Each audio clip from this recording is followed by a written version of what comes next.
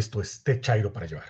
Y en esta ocasión les traemos una gran nota. Sí, una gran nota que sucede en la Universidad Nacional Autónoma de México y que en lo personal me llena de orgullo y me llena de gusto porque como profesor da gusto ver que hay un, todavía chicos universitarios que están y jóvenes que están emergiendo, que están mostrando su descontento, principalmente a personajes abyectos que los han querido estacionar en la Universidad Nacional Autónoma de México.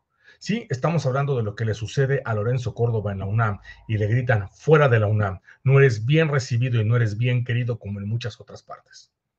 Cabe recalcar y cabe recordar que también en Baja California, recientemente cuando tuvo, estuvo en uno de estos, si no mal recuerdo, un casino, donde le permitieron hacer esta famosa gira que tienen para mostrar este libro y para hablar sobre democracia, él y su monaguillo Ciro Murayama, recordar que son dos personajes completamente abyectos que todavía es el grado de cinismo que tienen mayor como para querer venir a dar a la gente clases de democracia.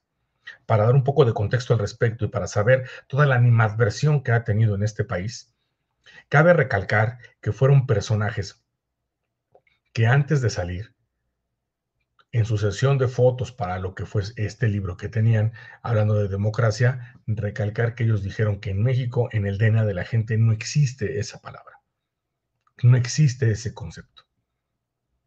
Y ahí yo siempre les hice una crítica. ¿Por qué situación? Si en México no existe y tú estuviste como presidente del INE durante 14 años y eras parte fundamental de respetar el voto, que es uno de los puntos importantes de la democracia, entonces, entonces eres un completo fracaso nos das la razón en entender que no serviste en esa posición. Y te estás exhibiendo delante del pueblo de México que les robaste durante 14 años estando en esa posición y que no tuviste la capacidad de mostrar que había, se puede hacer eh, una democracia y se podía trabajar de esa manera en ese país. Ejemplos políticamente hablando hay muchos, me refiero a las elecciones. Las elecciones y las tranzas que se encontraron hace seis años en la, primera participación de la maestra Delfina Gómez, junto con Enrique del, eh, perdón, junto con Alfredo del Mazo Maza, primo de Enrique Peña Nieto, en donde el robo fue atroz completamente, demostrado cómo se malversaron fondos al respecto, al igual que en la campaña de Enrique Peña Nieto, por cierto, y en la cual este personaje jamás dijo nada, cayó junto con Ciro Murayama las situaciones que pasaban en ese momento así de patéticos estos personajes. Cabe recalcar que la opción todavía más reciente que tenemos para poderlos criticar al respecto es que estuvieron participando en diferentes foros de partidos políticos, excepto obviamente de Morena, de la coalición Morena PT Partido Verde, cuando se supone que es un árbitro que debe de ser neutral y lo que menos tiene que hacer es llamar la atención al respecto. La manera prepotente en la cual respondía a otras personas, la crítica que hizo a gente de los pueblos originarios, que por menos de eso en cualquier otra posición estarían señalando y castigando. Y para ser precisos, si esto lo hubiera hecho el presidente de la República, estarían pidiendo inclusive su destitución de este personaje, ¿no? E inclusive lo normalizaron los diferentes medios de comunicación e inclusive lo quieren poner como un personaje ideal, siempre mintiendo y hablando que el INE tenía, era un, organismo con eh, excesiva confianza al respecto. Otra de las mentiras que tuvo este personaje es recordar que cuando se habló de este famoso Plan B y las marchas que tuvieron, esta famosa disque marea rosa que le quieren venir a decir, y las marchas y las manifestaciones que tuvieron para hablar de defender al INE, nunca fueron capaces de en verdad mostrar a la gente que la reforma electoral no era defender al INE, que tenía un fondo mucho más completo para controlar y garantizar las elecciones. ¿Por qué decimos garantizar las elecciones? Que no se le olvide a Lorenzo Córdoba, la situación que realizaron con algo que era constitucional y estamos hablando perfectamente de lo que era la revocación de mandato, en la cual dijeron no tener el dinero suficiente, si se lo gastaban, si se lo chingaba, lo que era el INE en general con todas las tropelías que tenían, con 400 personas ganando más que el presidente de la República, pero no tenían para garantizar unas elecciones que eran constitucionales y nos referimos a eso porque la, la, voluntad de ellos era mostrar, y ya que eran las primeras elecciones, tenían que darle la difusión que se merecía con la finalidad de que la gente entendiera y se incorporara a hacer el voto, estuvieran a favor o no del presidente de la República en estos momentos. Era importante decirles, aquí tu voto cuenta y es, es importante que vayas. No, fueron, al contrario, trabajaron esto de dos aspectos. Uno, minando la situación a partir desde el poder que ellos tenían. ¿Cómo lo hicieron? Muy sencillo. Lo primero que le dijeron a la gente fue participar en foros de eh, malversando lo que, eh, o más bien tergiversando lo que fue la información, y tergiversaban información y, eran copartícipes de forma indirecta, ayudaban, porque nunca aplacaron ese tipo de falsas, de, falsas tesis en las cuales decían que Andrés Manuel se quería quedar en el poder que inclusive esa consulta que se estaba haciendo constitucional era para refrendarlo y para que se quedara más tiempo. Nunca salieron a dar una verdadera aclaración de todas las mentiras y tropelías que decían diferentes medios de comunicación y o partidos políticos al respecto, inclusive algunos ministros y personas del tribunal. Y lo peor de todo, en la otra situación, en la injerencia directa que tenían, era que pidieron que el resultado tuviera la misma cantidad, del mismo porcentaje de votos para poderla avalar. Pero ¿a qué porcentaje me refiero? Al del 100%. ¿Y cuál era el problema en ello? Que no dieron las boletas suficientes. Abrieron tanto boletas y casillas de una tercera parte. Una tercera parte, 30% del 70%, se pedía que se tuviera, eh, bueno, fue lo que ellos pudieron dar. No garantizaron una elección completa, limitaron tu voto pero no pidieron que para aprobar y para que hicieran válida esa, esa, ese voto, esa encuesta, lo que hicieron simplemente de una manera muy sencilla es pedir de una manera inverosímil que hubiera la misma cantidad de votos como si lo hubieran hecho al 100%. Era una estupidez completamente lo que estaban pidiendo estos personajes.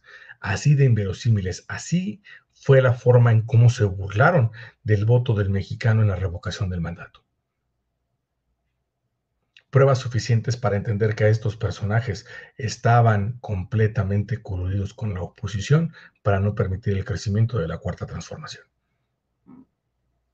Pues bien, una vez dando contexto de, lo de quién es este personaje y recordando cómo fue, en Mexicali no fue bien recibido por un grupo de diferentes profesores, una enfermera, en el cual le dijeron, como tienen en mi pueblo el huevo y quien lo puso, le comentaron los errores y las tropelías que hicieron y les dijeron que no eran bienvenidos y menos para hablar de democracia.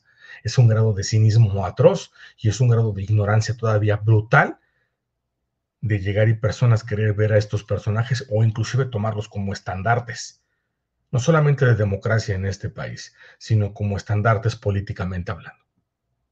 Sí, pues ahora en la Universidad Nacional los alumnos, los alumnos de la Universidad Nacional le recordaron a este personaje, le recordaron a Lorenzo Córdoba que no es bien recibido para regresar a dar clases.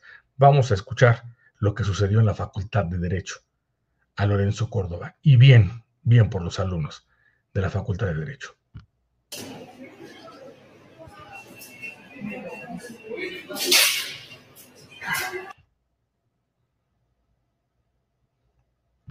Alumnos de la UNAM se manifiestan contra la llegada de Lorenzo Córdoba a la Facultad de Derecho. Lorenzo Córdoba, no te queremos. En la UNAM no te queremos.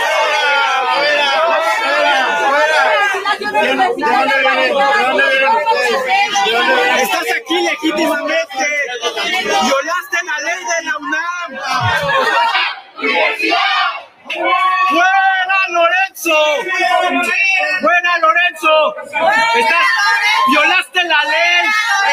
¿Cómo te atreves a dar clases de derecho?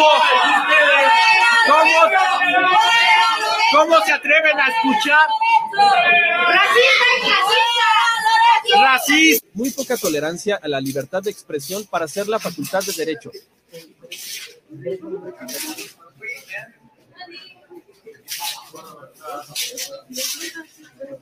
Están rompiendo el derecho a manifestarnos. Somos estudiantes, caballero. ¿Eh? Fuera Lorenzo de la UNAM, digamos no a un clasista, racista y antidemócrata.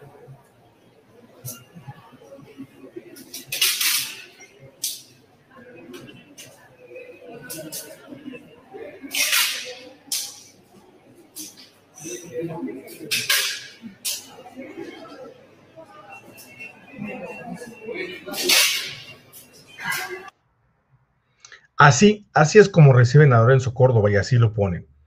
Y qué bueno y me da mucho gusto por los jóvenes universitarios que hicieron esto y que le mostraron a Lorenzo Córdoba que no puede llegar a hacer sus tropelías, inclusive en la Universidad Nacional. Una cobardía querer cantar un, un Goya con todos los alumnos a los cuales les está dando clase. Para los jóvenes que les está dando clase, no sean abyectos y no sean absurdos.